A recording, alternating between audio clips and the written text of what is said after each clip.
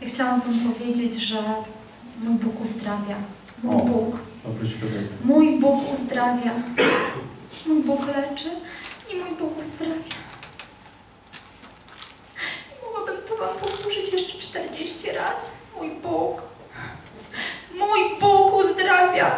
Mój Bóg uzdrawia. Moja siostra z upośledzeniem umysłowym na co dzień mieszkała w domu pomocy społecznej. W poniedziałek trafiła do szpitala w bardzo ciężkim stanie.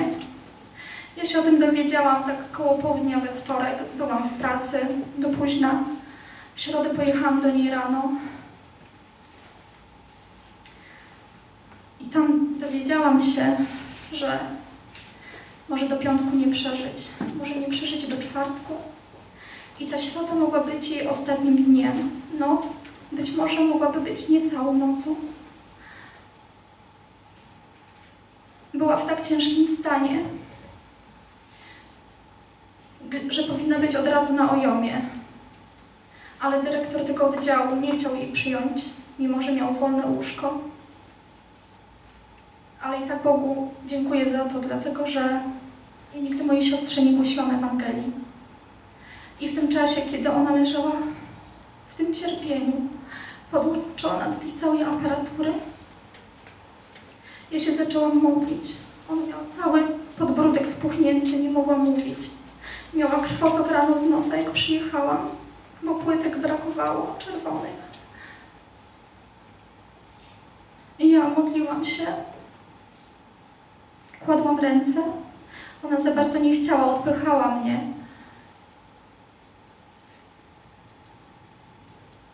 I zaczęłam mówić modlitwę grzesznika. Tak jakby miała po mnie powtarzać. Ona nie powtarzała, bo ona nie mogła powtarzać. I zaczęłam mówić, przepraszam Ciebie Jezu, że żyłam bez Ciebie. Przepraszam Ciebie za moje grzechy. I w tym momencie ona powiedziała, mimo tego spuchnięcia, weź przestań, co Ty do mnie mówisz? I duchy religijne się odezwały. Ona nie mogła mówić normalnie. Przynajmniej nie tyle. I zaczęłam dalej mówić, Ewelinko, czy ch- chcesz przyjąć Jezusa do swojego serca i życia? I w tym momencie ona otworzyła szeroko oczy, spojrzała na mnie tak trzeźwo i powiedziała tak i się rozpłakała. I zaczęłam się modlić dalej. I dziękuję Jezusowi za to, że ona się narodziła na nowo. Za to, że ta walka o zdrowie, ona jest już z innego miejsca. Ona jest z pozycji zwycięzcy.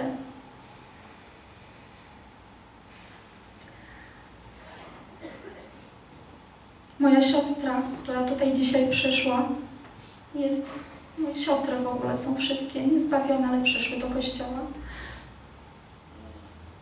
poszła do tego dyrektora OJOM-u. On wyszedł z reanimacji i zaczęła żądać, żeby przyjął moją siostrę na OJOM. On powiedział, jak to pani żąda? Żądam. Miał wolne łóżko. Powiedział, że jeśli przyjadą, jeśli będą krwinki, to ją przyjmie. Ja już w tym czasie wracałam do domu z moją starszą siostrą i ustanawiałam, że ona zostanie przyjęta na OJOM.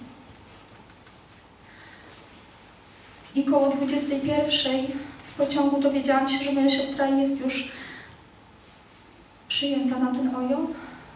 I jakoś tak tuż przed 21 też krwinki dojechały. Tam moja siostra została lekko uśpiona, ale lekarze mówią, że wiedzą, co, co do niej mówimy, że ona wszystko słyszy.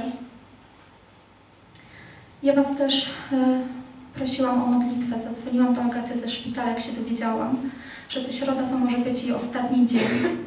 I wiem, że się modliliście w środę, wiem, że się wstawialiście. Dziękuję Wam i dziękuję pastorom. Dziękuję Bogu za to, że dał mi rodzinę. Wy jesteście moją rodziną, bo wszyscy kochamy naszego Ojca, który uzdrawia i który leczy. Stan Ewelinki zaczął się poprawiać. Jest coraz lepiej. Mimo, że lekarze mówią, że to nie jest jeszcze taki moment, gdzie można się cieszyć, ale ja wierzę, że ona jest już uzdrowiona. Już wczoraj byłam w pracy i cały dzień czułam się tak, jakby nic się nie stało. I ja wiem, że ona jest uzdrowiona i ja oddaję tym chwałę Bogu. Nie będę czekać do dnia, do momentu, kiedy ona będzie, nie wiem, biegała po ulicy, jadła normalnie obiad i normalnie ze mną rozmawiała. Ale już teraz wywyższam Boga, bo ja wiem, że ona jest zdrowa. Ona mogła umrzeć, ale ona przyjęła, przyjęła Jezusa. I za to uwielbiam Ciebie, Ojcze. Wywyższam Ciebie i dziękuję Ci, Tatusiu, że Ty leczysz.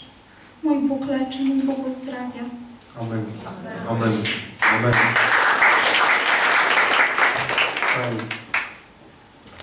Amen.